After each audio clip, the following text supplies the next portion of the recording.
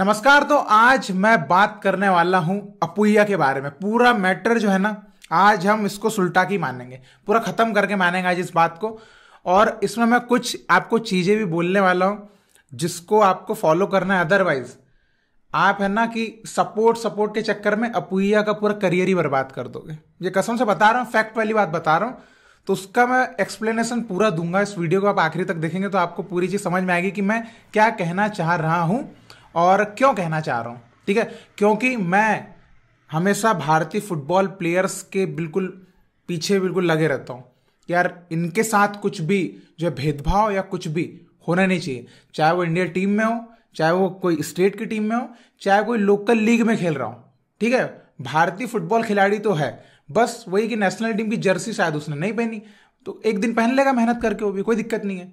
तो अपुइया तो कई लोग जैसे कि लगता है ना कि अपुइया अपुइया की क्यों इतनी वो चल रही कि अपुइया को नेशनल टीम होना चाहिए, क्यों होना चाहिए होना चाहिए? क्यों कई जो फैंस है वो ऐसा भी बोल रहे कि अपुइया का परफॉर्मेंस तो इतना अच्छा है क्लब लेवल पे? तो ये सब चीज़ें लेकिन कई उसमें खिलाफ भी अपुइया की कि नहीं अपुइया से अच्छा तो किसी और का है, ये है, वो है। ऐसा सबका चल रहा है है ना, गणित?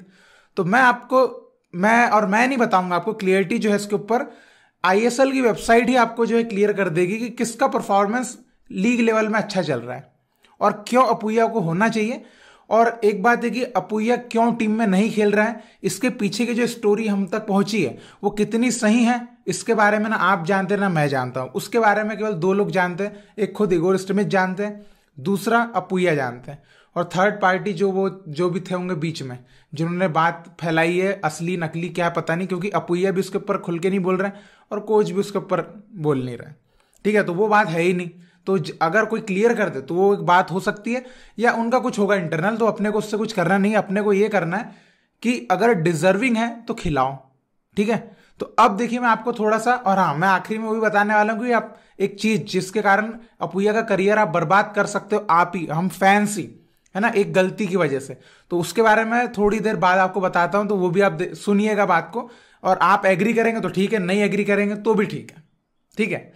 तो देखिए, सबसे पहले स्टार्ट में आपको दिखाता हूँ। आप भी देख सकते हैं। मैं ऐसा नहीं कि मैं कुछ चेंज करके दिखा रहा हूँ।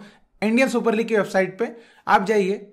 सीडीएम पे कौन कौन खेलता है? अपुया, रोहित कुमार जैक्सन। तीनों के स्टार्ट आप खोल लीजिए इंडियन सुपर लीग की वेबसाइट पे। मैं भी खोल लेता हूँ 2022 का सीज़न का आपको खोलना है। तो देखिए, ये इंडियन सुपर लीग की वेबसाइट है, इसमें अपुया के स्टार्ट आपको यहाँ पे दिख जाएँगे। यहाँ पे आप जाइए और 2022 इसको कर लीजिए। सेम आप रोहित कुमार का खोल के भी 2022 कर लो और फिर जैक्सन का खोल के भी 2022 कर लो, ठीक है? ये तीनों प्लेयर जो सीडीएम हमारे, अब इनके बारे में बात करते हैं। तो क्योंकि परफॉर्मेंस हमने टीवी पर तो देखा और अपुया उसमें हमको काफ़ी अच्छे दिखे।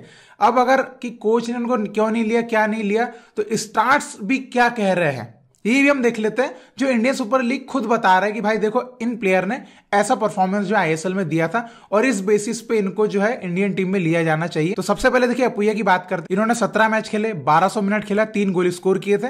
और अगर मेनली एक चीज़ देखा जाए 11 चांस इन्होंने क्रिएट किए थे। और अगर डिफेंसिव साइड भी आते तो चार ब्लॉक इनके आए थे और 12 इंटरसेप्शन आए थे। ठीक है? तो इस तरीके से थोड़ा सा डिफेंसिव और पासिंग एक्यूरेसी की बात करो तो 84 परसेंट का पासिंग एक्यूरेसी था इनका पूरे ओवरऑल सीज़न में। ठीक है?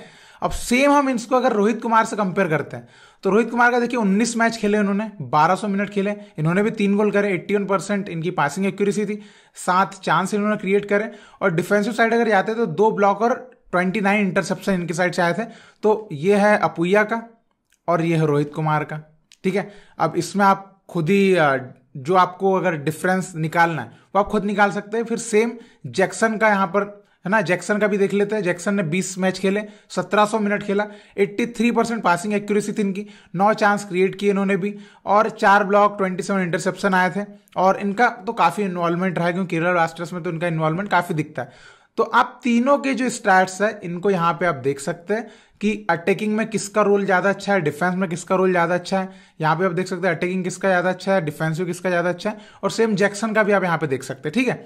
तीनों प्लेयर का आपने देख लिया जैक्सन का रोहित का और अपुया का। अब देखिए, यहाँ पर मैं या कोई तीसरा पर्सन कुछ नहीं बोल रहा है। यहाँ पर आपको स्टार्ट खुद बोल रहे हैं कि हाँ अपुया भी डिजर्व करते रोहित भी डिजर्व करते हैं जैक्सन भी डिजर्व करते। हैं यस तीनों डिजर्व करते। हैं लेकिन हाल ही में भी अपुया को नहीं लिया गया था। ये थोड़ी बात जरा हजम हुई नहीं। पहले तो आप बोल सकते हैं Intercontinental Cup SAFF Cup injury थी उनको। ठीक है? इंजरी थी, नहीं खेले, ठीक है, क्योंकि स्क्वाड में थे। लेकिन अभी जो मल्टेका कप के लिए उनको नहीं लिया गया। यहाँ पर बिल्कुल क्वेश्चन आएँगे कि यहाँ क्यों नहीं लिया गया? अभी तो अच्छे फॉर्म में चल रहे हैं, अच्छे फॉर्म में चल रहे हैं, ठीक है? तो ये एक सवाल खड़ा होता है, बाकी अदरवाइज़ अगर आप बोलेंगे कि परफॉर्मेंस क्लब लेवल पे लास्ट सीज़न के हिसाब से अगर प्लेयर को देखा जाए तो रोहित ने भी परफॉर्मेंस दिया था। और रोहित ने तो भाई बेंगलुरु में अच्छे खेला था, आपने देखा। जैक्सन ने भी अच्छा परफॉर्मेंस दिया था अपुया ने भी अच्छा परफॉर्मेंस दिया था। तीनों ने अच्छा खेला, ठीक है? लेकिन अभी रोहित जो है, वो इंडिया टीम में अच्छे नहीं चल पा रहे, जैक्सन अच्छे चल रहे। रोहित नहीं चल रहे, उसके लिए हम उनको क्रिटिसाइज भी कर रहे हैं, ठीक है? ऐसा नहीं कि हम नहीं बोल रहे कि हाँ भैया रोहित तो नहीं चल पा रहे तो भी उनको खिलाया जा रहा है। नहीं चल पा रहे, लेकिन फिर भी खिलाया रहा हाँ तो यहाँ पर हमने सवाल खड़े करे कि अगर रोहित नहीं चल पा रहे तो आपने अपुया को क्यों नहीं लेके गए? ठीक है? ये बिल्कुल, ये लाजमी है। अब एक बात आती है कि कई लोग ये बोल रहे कि भाई आपने अपुया के सपोर्ट में कुछ बोला क्यों नहीं? अपुया के लिए ट्वीट क्यों नहीं चला? हैशटैग क्यों नहीं चला है? अब एक देखिए, एक सिंपल सी बात। इंटरनल मैटर उनका क्या है अपने को पता नहीं, ठीक है? उनके बीच में सचमुच कुछ हुआ, नहीं हुआ, वो जाने। अभी अपुया ने क्या स्टेटमेंट दिया कि कोच की मर्ज़ी है कोच अगर मेरे को लेना चाहे तो लेना चाहेंगे। बाकी वो तो नेशनल टीम में खेलना चाहते हैं, उनकी डिज़ायर ये है। और बहुत ही शानदार गेम प्ले वो करते हैं, ये हमने देखा भी हुआ है। तो अभी ट्विटर पे अगर आप ये बोलेंगे, हम उनके लिए कैंपेन चलाएँ मान लीजिए उनके उनके बीच में क्या बात है अपने को पता नहीं, ठीक है? हम यहाँ पर, हमने एक बखेड़ा खड़ा कर दिया इगो में वर्सेस अपुया ऐसा मान लो अपन ने बना दिया। तो जो चीज़ नहीं भी होगी या जो चीज़ छोटी सी होगी, उसको हम चिंगारी लगा देंगे। ठीक है? ये हैशटैग और ये सब करके। फिर क्या होगा? वो कोच ने अगर उस चीज़ को ईगो पे ले लिया तो ज़िंदगी में सबसे बेकार चीज़ है ईगो। ईगो पे अगर आपने किसी भी बात को ले लिया तो आप जो है, सामने वाले को देखोगे नहीं, सामने वाले को सुनोगे नहीं। ठीक है? क्योंकि आपको पता है, ईगो इंसान को बर्बाद कर देता है एक तरीके से। है ना? आपको पता है। तो भाई, आप देखिए, अगर मान लीजिए बात ईगो पे चलेगी कि ये फैंस खड़े हो रहे हैं प्लेयर के साइड से, ये न वो। तो भाई अपू ये जब तक स्ट्रीमिच है, तब तक टीम में भले आ जाएँगे स्क्वाड में फैंस के सपोर्ट के कारण, लेकिन कभी भी उस टीम का पार्ट नहीं बन पाएँगे। तो ओवरऑल क्या होगा, उनका जो नेशनल टीम करियर है है ना, वो खराब हो जाएगा, बर्बाद हो जाएगा जब तक स्टेमिच रहेंगे। तो इसलिए वो चीज़ मत करो। इसलिए मैंने ना कोई हैशटैग चलाया, ना कुछ रखे क्यों? क्योंकि अगर आप एक प्लेयर होंगे तो आप उस चीज़ को समझते होंगे, आपने भी टीम में खेला होगा। अगर कोच और किसी प्लेयर के पीछे मनमुटा हो जाए तो भाई बड़ी दिक्कत हो जाती है, बहुत दिक्कत हो जाती है। आपने देखा अगर आप एक प्लेयर होंगे, आपने टीम में रहोगे आपको पता है ये चीज़ क्या होती है। और मैं पहले भी कह चुका हूँ कि इगोस्ट में जो ट्विटर बाजी करते हैं, उसको सपोर्ट मत किया करो। है ना? जो आपको चीज़ें लगती है, उस पर आपका रिएक्ट किया करो। लेकिन हर चीज़ में आप बोलोगे कि हर चीज़ ट्विटर पे नहीं चलती ना भाई।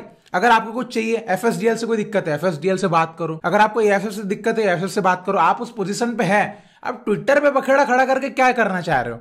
मेरा हमेशा से ये रहा है। ट्विटर पे बखेड़ा करके क्या करना चाह रहे हो? आप थोड़ी ना कोई वो हो कि आपको, है ना डिजिटल मार्केटिंग करना है। कि भाई मेरा ये करना, है ना, मेरी ये बात है हाँ।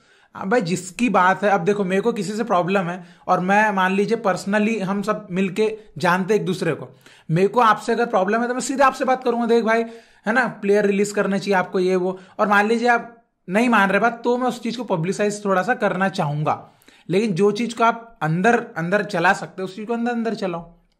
क्योंकि मुझे भी ऐसी कई चीज़ पता है, जहाँ मैं इतना गंदा डिफेम कर सकता हूँ लोगों को। लेकिन, है ना, मैं समझता हूँ कि भाई, वो चीज़ ज़रूरी नहीं है। है ना, वो इंडियन फुटबॉल को कहीं ना कहीं गिरा सकती है नेगेटिव एक इम्पैक्ट ला सकती है। तो जो चीज़ नेगेटिव इम्पैक्ट लाए, उसको करना ज़रूरी नहीं होता है। जो पॉजिटिव इम्पैक्ट लाए, उसको आप बिना सोचे समझे कर दो। लेकिन नेगेटिव चीज़ को तो दस बार छलने में छान के आपको करना पड़ेगा। तो अपुया और इगोर स्टिमिच का अगर आप ट्विटर बाजी करना चाहोगे तो कहीं ना कहीं प्लेयर का करियर बर्बाद कर देगा। इगोर को क्या लेना देना? तो क्रोएशिया का क्रोएशिया चला जाएगा, उसको कोई दिक्कत नहीं है। है ना? उसको लगेगा फैंस मेरे खिलाफ हो गए जॉब छोड़ के चला जाएगा, खत्म खेल। हम हम हो जाएँगे वापस, ना कोच ना कुछ। तो वो एक चीज़ है कि मैंने भी कही कि अपुया भाई को बस कंसिस्टेंट जो है परफॉर्मेंस को लेकर रहना चाहिए। अगली बार जब टीम बनेगी, उसमें एक स्टिमिच ने उनको नहीं लिया। अगर ये परफॉर्मेंस के बाद भी, क्योंकि अभी परफॉर्मेंस बहुत अच्छा चल रहा पुया का, अगर नहीं लिया देन हम फिर उनके सपोर्ट में खड़े होंगे। ये बिल्कुल सोलह आने सच बात।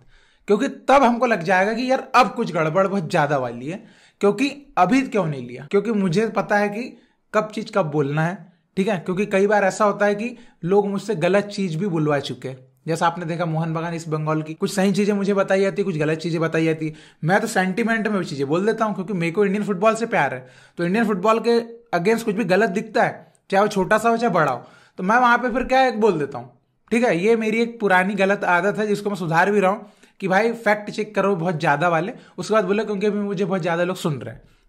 तो वो मैं अभी कोशिश कर रहा हूँ। तो मैंने अभी आपको यहाँ पर दिखाया परफॉर्मेंस कि कैसा रहा स्टैट्स आपको दिखाया पिछले सीज़न के कि कैसे क्या रहा, क्यों किस प्लेयर को लिया गया था। और अभी जो प्लेयर नहीं चल रहा है तो नहीं चल रहा है। उसके लिए बोला, रोहित नहीं चल रहा है अभी।